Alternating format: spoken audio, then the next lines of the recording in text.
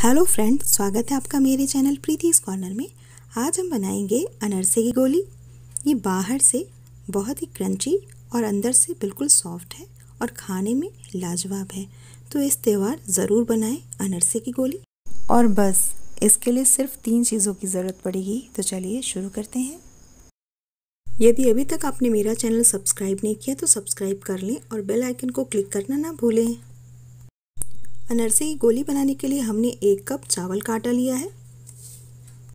और इसे हमने छान लिया है। अब हम इसमें मिलाएँगे आधा कप चीनी का बूरा। आप पीसी चीनी भी यूज़ कर सकते हैं। अब हम इन दोनों चीज़ों को अच्छी तरह से हाथों से मिला लेंगे। मिक्स करने के बाद अब हम इसमें दूध मिलाएँगे। हमने छः टेबल स्पून दूध लिया है। और ये नॉर्मल टेम्परेचर का दूध है। ना ज़्यादा ठंडा है और न ज़्यादा गर्म। अब हम इसमें थोड़ा थोड़ा करके मिक्स करेंगे और एक सॉफ्ट डो तैयार करेंगे।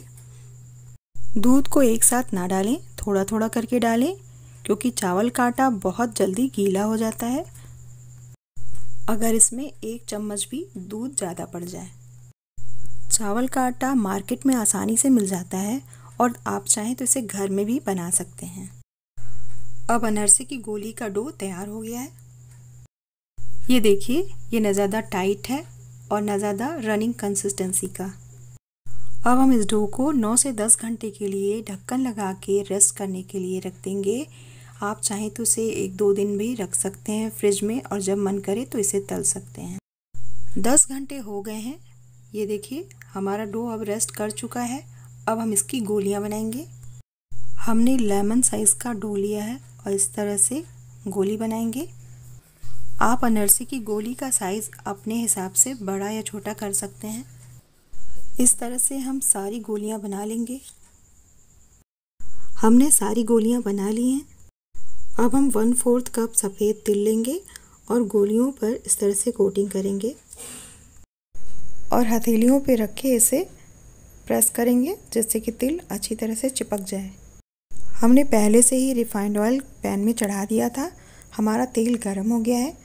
और इसका टेम्परेचर चेक करने के लिए हमने छोटी सी गोली इस तेल में डाल दिया है। देखिए बबल्स आने लगे हैं। इसका मतलब कि तेल अच्छे से गर्म हो गया है। अब हम बाकी की गोलियाँ भी एक एक करके पैन में डालेंगे और एक बार में उतनी ही गोलियाँ डालेंगे जितने की पैन में आसानी से चला सकें। इस स्टेज पे फ्लेम को मीडियम टू हाई रखेंगे।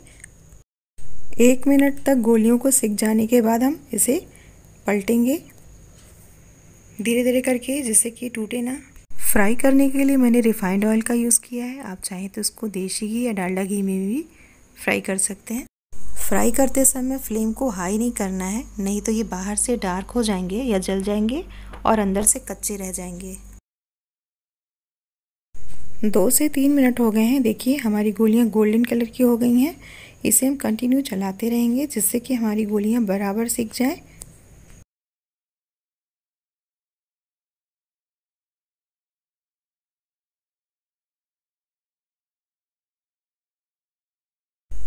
ये देखिए, इसे तलते हुए पाँच मिनट हो गए हैं। अब ये गोल्डन ब्राउन कलर की हो गई हैं। अब हम इसे पैन से बाहर निकालेंगे। एक्स्ट्रा तेल को हम निकाल लेंगे इस तरह से। और ये देखिए, अनरसे की गोलियों में क्रैक्स आ गए हैं। इसका मतलब कि हमारी जो अनरसे की गोली बनी है, ये बिल्कुल परफेक्ट बनी है। क्योंकि क्रैक्स आना ज़रूरी होता है। हमने एक बैच तल लिया है। अब हम दूसरे बैच की गोलियों को फिर से पैन में डालेंगे और इसे भी फ्राई कर लेंगे। गोलियों को मीडियम टू हाई फ्लेम पर चलाते हुए पाँच मिनट तक तलना है, जब तक कि इनका कलर गोल्डन ब्राउन ना हो जाए। हमने सारे एनर्जी की गोलियों को तल लिया है, ये देखिए। तो ये लीजिए, तैयार है हमारे अनरसी की गोली। बाहर से बिल्कुल क्रंची और अंदर से बिल्कुल नरम। और ये क्रैक्स देखिए। ये क्रैक्स आने का मतलब कि ये बिल्कुल परफेक्ट बने हैं। तो यदि आपको मेरी ये रेसिपी पसंद है तो please like, share and subscribe करें। Thanks for watching my channel. Take care and bye bye.